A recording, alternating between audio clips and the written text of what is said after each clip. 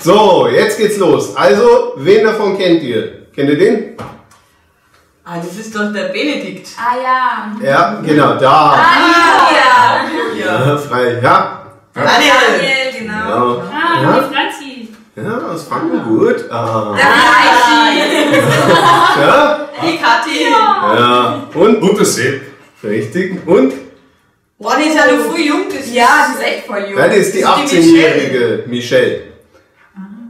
Aha, wer ist ah, der Kutscher. Ja genau, stimmt. die kennt ihr schon lange.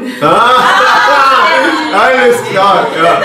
Die Rotärmel da dabei. Ja? Krass, und die kandidieren alle für die Wahl am 15. März. Ja, und insgesamt über 100 Leute haben wir schon zusammen. 15. März 2020, über 40.000 Mandate in Bayern, über 2.000 Gemeinden in ganz Bayern und jede Menge Kalliopilerinnen und Kalliopiler dabei.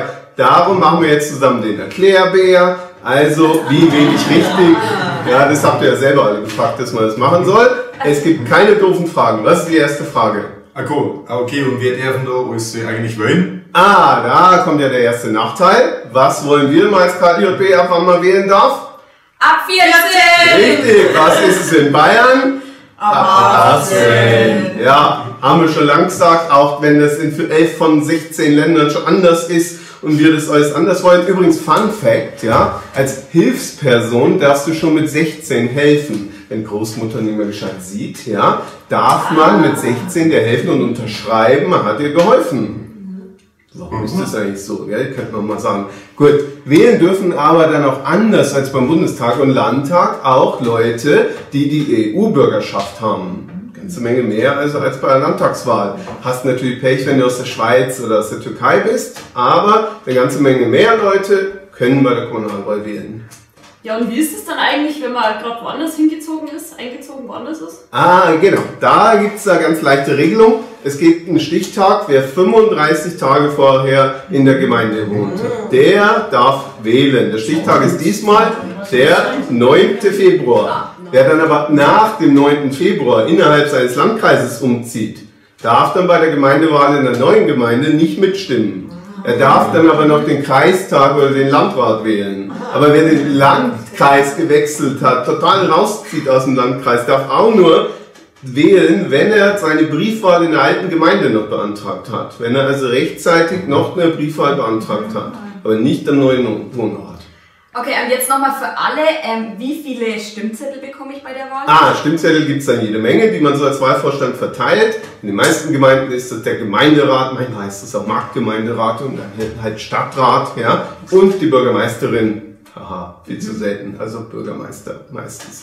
Äh, Kreistag darf man natürlich wählen, wenn man nicht in so kreisfreien Städten wie München und Nürnberg wohnt. Ja, Kreistag.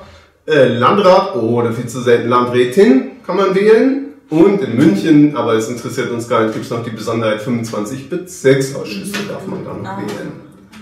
Ja. Okay, und ähm, wie viele Stimmen kann ich dann vergeben? Ja, wie viele Stimmen? Das ist genau geregelt, Bayerische Gemeindeordnung und Wahlkreisordnung. Und immer oben auf dem Stimmzettel, wo ich mal einen Probestimmzettel, da habe ich so ein Ding aus dem Internet ausgedruckt. Äh, da unten ist dann der Link zu diesem Probestimmzettel, den kann man auch online schon probemäßig ausfüllen. Und da steht drüber, jeder Wählerin oder jeder Wähler hat hier 16 Stimmen. Da gibt es auch dann eine Übersicht, nochmal was zum Einblenden. Ja, das beginnt bei wie bis 1000 Einwohner. Wohnt irgendjemand in der Gemeinde bis 1000 Einwohner? Aber da gibt es noch welche in Bayern. Die haben nur acht Gemeinderatsmitglieder. Äh, teilweise, die können aber festlegen, dass man doppelt so viel Stimmen in den kleinen Gemeinden bis 3000, da haben wir ja eine ganze Menge bei uns, ja, äh, die dürfen dann sogar doppelt so viel Stimmen abgeben. Also das werden dann immer mehr hier, was weiß ich, 10.000 hast du 20 Gemeinderatsmitglieder und 20 Stimmen und so weiter. Und in München wieder Besonderheit, 80 Stimmen, 80 Sitzer. Der Stadtrat, da ist dann der Stimmzettel ungefähr so groß wie unser Büro. So, und jetzt diese ganzen Fremdwörter, was ist denn kumulieren? Das ist aber nichts Unanständiges, oder? Nein, nein, das ist äh, ganz katholisch. Kumulieren ist äh, drei auf einen Haufen, ja, Häufel. Das heißt, ja, ja, ja, also, du kannst höchstens drei Stimmen zu einer Person vergeben. Also, du schreibst doch wirklich drei hin. Bei drei Kreuze kann man auch machen, wäre auch gültig so. Ja, aber wenn du drei hinschreibst, gibst du drei Stimmen der Leute hier. Ja, auf diesem Musterstimmzettel, den wir hier unten nochmal verlinken. So. Und wofür sind wir? Wir wollen ja immer junge Leute wählen, nach vorne wählen. Also schauen wir natürlich erstens Carlo Billerin und Carlo Biller 3 davor schreiben. Ja? Was aber verwirrend ist, auf manchen Listen auf dem Land, auch auf diesem Stimmzettel, sind manche Leute doppelt und dreifach aufgeführt. Das haben die gemacht, weil die nicht genügend Kandidaten, wenn sie jetzt 20 im Gemeinderat haben, aber die hatten nur 10 Kandidaten. Was machen die dann? Die Namen mehrfach draufschreiben. Richtig, mehrfach draufschreiben, aber du kannst natürlich nicht mehr als drei Stimmen bekommen. Okay? Was das absolute No-Go ist, wenn du 20 Leute wählen kannst, 20 Stimmen vergeben, 21 Stimmen vergeben, dann ist das Stimmzettel ungültig. Ja? Und nichts dazu schreiben, darf man auch nicht. Also wenn ich dazu schreibe, ey, Stefan Gerstl ist so ein super Typ. Ja? ja ist er, natürlich, freilich. Aber ganzer Stimmzettel ungültig. Ja? Noch eine Frage? Es gibt noch ein Fremdwort. Panaschieren. Ah, Was Panaschieren. bedeutet das denn nochmal? Ja, wo ist eigentlich der Stimmzettel? Ja. Äh, Panaschieren ja, ist, wenn ich verteile, wenn ich, ah, genau. Wenn ich also auf der Liste A ein paar Leute ankreuze und auf der Liste B ein paar Leute ankreuze oder denen drei Stimmen gebe. Also hier gibt es eine Kaliobelerin auf der Liste A, da gibt es eine Kaliobele auf der Liste B, die will ich alle wählen, kann man machen, das heißt Panaschieren. Noch eine Frage? Ähm, ja, und was ist mit den Stimmen, wo ich ganz Oma vergeben kann? Ja, genau. Man kann auch, wenn das alles zu kompliziert ist, oben die Liste, da gibt es ein Listenkreuz für Liste A, Liste B, Liste C, 1, 2, 3. Ja, äh, da kreuzt man die ganze Liste an. Bei der Auszählung heißt das dann, jeder Kandidat bekommt eine Stimme. Aber ich finde ja, da gibt man so ein bisschen sein Auswahlrecht her, weil wir wollen ja junge Leute nach oben wählen und nicht nur, dass jeder eine Stimme bekommt. Ja, drum eher einzelne Leute genau wählen, als für die ganze Liste ankreuzen. Ja? Äh, was echt cool ist, äh, übrigens für die Profis, man darf sogar eine Liste ankreuzen und dann einzelne Leute streichen. Das so ja, wir dürfen einzelne Leute streichen. Das bedeutet dann, es kriegt zwar die ganze Liste eine Stimme, aber eben nicht derjenige, den man gestrichen hat. So. Aber so sind wir nicht. Musst du dann gerne Leute streichen. Nächste Frage? Okay, bei vielen gibt es ja nur eine Liste in der Gemeinde. Wen kann ich denn da wählen dann? Ah ja, klar. Bei einigen gibt es in kleinen Gemeinden so, dass nur eine Liste, also man muss sich jetzt vorstellen, nur eine Liste ist auf dem Stimmzettel. Da kann man natürlich genauso das Listenkreuz setzen oder einzelne streichen oder auch nur einzelnen Leuten Stimmen geben. Das Coole ist, da könnte man sogar in den kleinen Gemeinden Leute dazu schreiben, handschriftlich. Also da kannst du, haha, ne, Brandstätter Benedikt, schreiben wir dann einfach dazu. Ja, genau. Übrigens blöd, wenn es irgendwie Josef Müller doppelt gibt, dann sollte man schreiben Bäckermeister Josef Müller oder so. Ja, also Ah. muss tatsächlich eindeutig oder Josef Müller, der wo da und da wohnt. So. Ja, also könnte man tatsächlich was dazu du schreiben. nochmal? Ja, egal. Das gleiche geht, wenn bei der Bürgermeisterwahl, da gibt es ja auch häufig manchmal nur einen Kandidaten.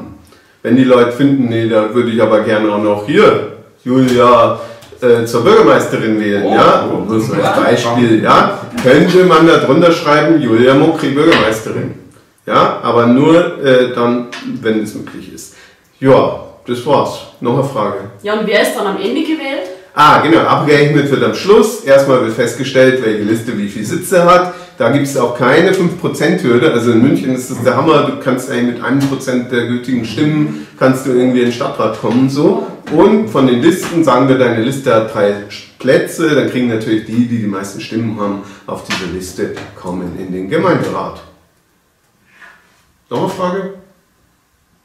Ich habe noch eine letzte Frage. Wie funktioniert eigentlich die Briefwahl? Ah, Briefwahl, genau. Nach diesem 9. Februar, wenn man diese Wählerliste geschlossen hat, so wer überhaupt wahlberechtigt ist, dann werden diese Wahlberechtigungen verschickt. Haben wir alle schon mal bekommen, die über 18 sind, eine kleine Postkarte, in welchem Wahllokal man wann überhaupt wählen darf, so. Ja, und da ist meistens auf der Rückseite so ein Antrag auf Briefwahl. Den kannst du ausfüllen, auch mit der Post irgendwie schicken. In München oder in vielen anderen Gemeinden kannst du es inzwischen auch online machen, dass du Briefwahlunterlagen bestellst. Was du nicht machen kannst, ist irgendwie anrufen und sagen, du wärst Simone Grill und du möchtest gerne Briefwahl machen, weil ja, das, das so unbedingt durchgeht, weiß man nicht. Ja?